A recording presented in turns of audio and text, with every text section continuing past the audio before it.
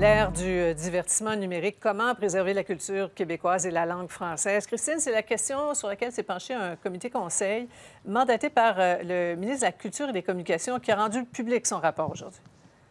Oui, un rapport assez étoffé, euh, Sophie, avec 32 recommandations. Euh, le mandat de ce comité conseil euh, leur avait été donné à la vue de chiffres alarmants sur le recul du français au Québec, sur le quasi ben, désintérêt total des jeunes pour les contenus d'ici sur les plateformes numériques aussi. et donc, aujourd'hui, on suggère notamment de faire un projet de loi qui miserait très gros sur la découvrabilité des contenus, c'est-à-dire du contenu original en français. Donc, c'est une chose qu'une série francophone, par exemple, se retrouve sur Netflix, mais après, il faut qu'on soit capable de la voir, de la découvrir. Par exemple, que l'algorithme nous la propose. Et ça, ça aiderait grandement.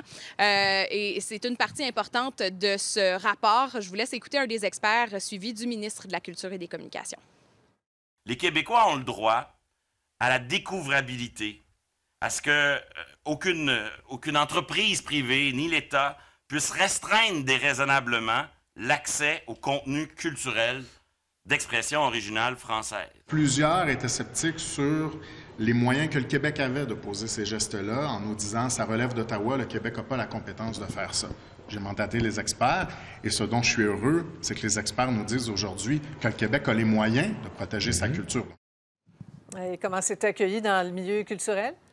Bien, évidemment, c'est bien accueilli. On ne sait pas encore par quels moyens tout ça sera fait, mais on accueille ça euh, de façon favorable. Voici la directrice générale de la DISC.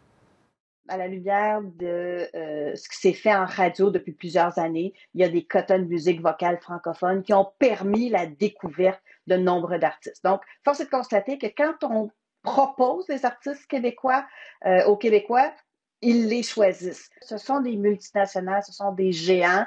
Euh, l'idée de travailler avec nos alliés de la francophonie, euh, à mon avis, c'est la façon d'arriver à, faire quelque chose.